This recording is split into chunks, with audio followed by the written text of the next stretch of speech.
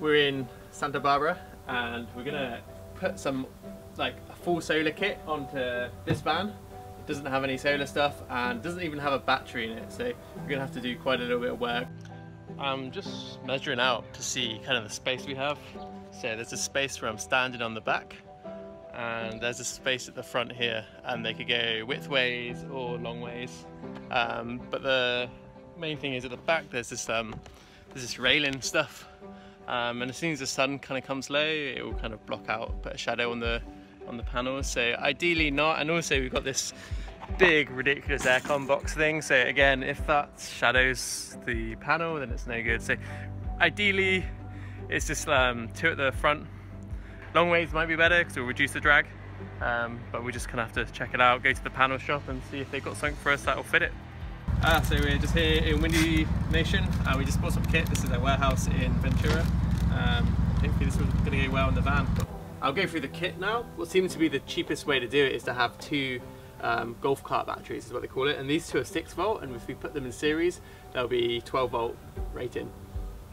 The, these are 230 amp hours. Um, so when I put them in series, we will have 230 amp hours on 12 volt and that's actually really good value for money because these batteries were like $100 each or just about um, so for $200 you got 230 amp hours which is actually quite a lot for that money. I think that's pretty good. We have these two flexible 100 watt solar panels from um, Windy Nation. Uh, and these are about $180 each. Uh, and also in the kit we have also Windy Nation. I'm guessing they just rebrand it. Um, it's a MPPT solar charge controller. Um, and it's a, because we have um, 200 watt solar panel and we might want to add some more at some point. So we've got a 30 amp charge controller. We've also got some industrial strength Velcro, so we're going to attach it by Velcro rather than like really strong double-sided or glue it on, just because then it gives us the option to take it off, or if, um, if they sell the van, then we can do something else with the, with kit. Um, because it's pretty much removable, and you can put the kit into another van if you wanted to. Uh, we just got some connectors, some wire strippers, and some thick cables to connect these into into um, into series. So I'm going to go through with you quickly how a solar system works on a car or a van. Now, the panel cannot go directly into the battery. It just doesn't work like that. It needs to go through a solar charge controller. And solar charge controller, there's two types. There's like a standard type and there's MPPT. MPPT is just more effective um, and they usually have program program methods to basically support different type, battery types, charge them better. If you can, if you really want to get the most out of your panels, buy an MPPT solar charge controller. They tend to be a bit more expensive. For like a 30 amp one, you're probably going to spend 150 to 200 dollars. Now, what happens is you have your panel, and your panel goes into your solar charge controller. Uh, the solar charge controller then sends it to the battery, but also out of the solar charge controller comes the load. That means it can distribute the power where it's kind of needed best and is most effective. So the solar charge controller is like a middleman right in the middle of all of the other things, the solar panel and the battery, and then that goes out to your all of your 12 volt appliances from the load ports.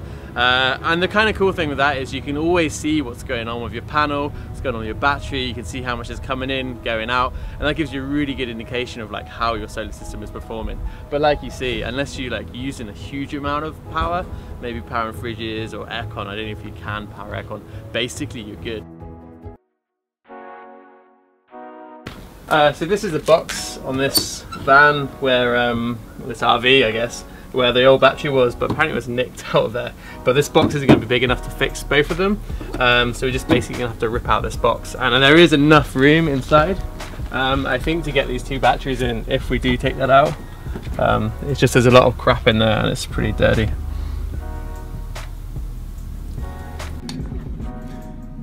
Don't really have any tools, but the, uh, the nut tool from our country has actually been pretty good to kind of like chisel out some of the uh, some of the parts. But there's this horrible metal box. It out is actually a real pain.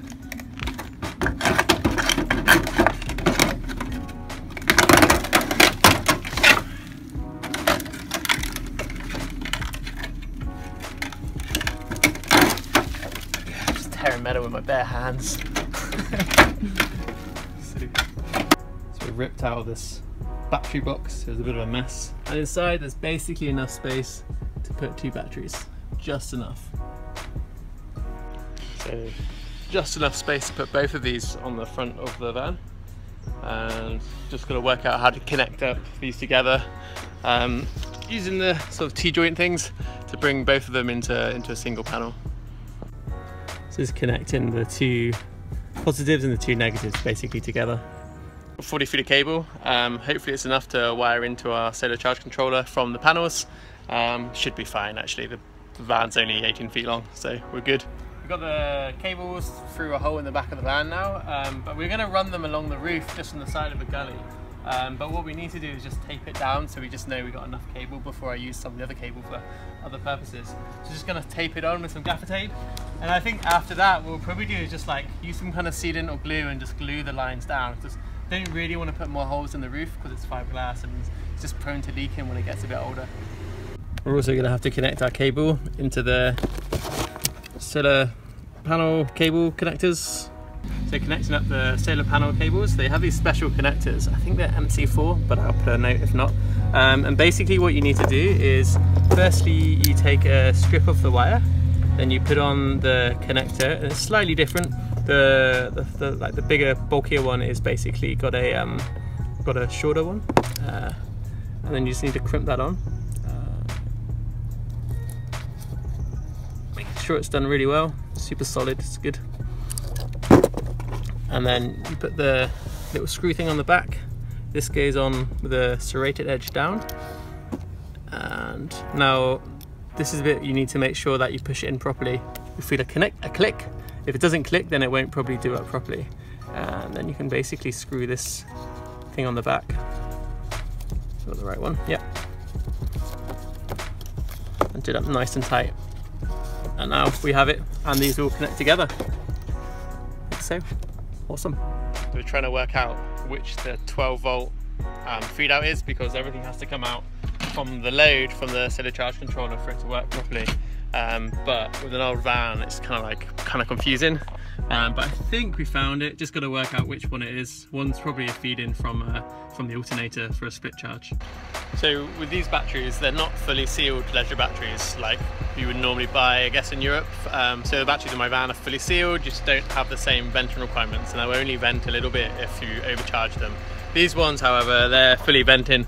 So if you see that hole at the back, we're basically gonna make sure that's a vented hole, which it is anyway, that is what it was for.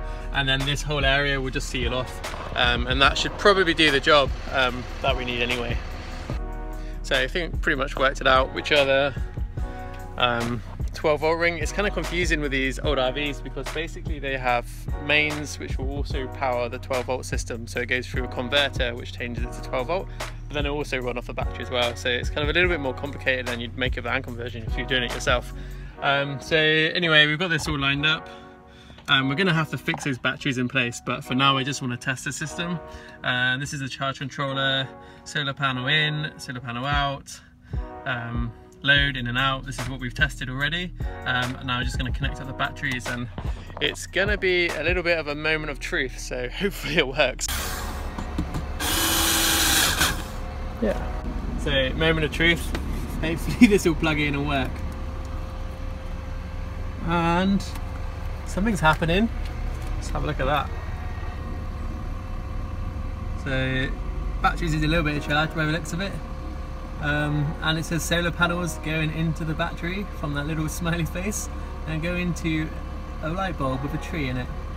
That's probably a good thing. So we installed the solar panels about seven weeks ago and just been checking the stats on the on the box. It kind of records how much has gone through it. And in seven weeks, we've had 874 amp hours of energy produced by the solar panels and 46 amp hours has gone to the load. So mostly we've been running just like the heater, which is a gas powered, like propane based heater, um, but it's powered by electricity for the fan and everything, um, and lights, charging laptops, phones. So that gives an idea of like how amazing these panels are. Uh, these are uh, SunPower panels or cells, um, a German company, and they're just cranking. These uh, 200 watts is probably better than the the 300 watt panel I have on my van in Spain. So it's really good quality panels, really effective. And even this um, solar charge controller, is it MPPT? I'm not sure, it's pretty small. Um, it might be kind of fake MPPT, but whatever. Um, it's working and it works really well. It's quite a cheap, quite a cheap solution. Um, but yeah, in, on the whole, it's been an amazing success. Like more electricity than we can use, even when we're not really trying to park in the sun all the time. We're just doing our thing, kind of almost forgetting about it most of the time. It's really quite incredible. So on the whole, it's been a really successful integration. Put retrofitting solar onto a really old camper like this. Uh, and if it's something that you're looking to do, it's not so complicated, it's well worth doing. You can kind of off-grid your old camper, uh, which you can open up the doors never to have to like use campsites or whatever and pay for electricity hookups. Um, obviously it won't power a lot of your mains appliances, like this one runs the aircon only off the mains and other things, but it will power your heater, it will power your fridge, it will power your lights, charging your stuff. And you can, even if you want to make it a bit more efficient, you can change some of the light bulbs for LED light bulbs that you can buy them in like most like garages and things these days. So check it out. It's really worth doing. It kind of like a, in my mind it's a massive upgrade for an old camper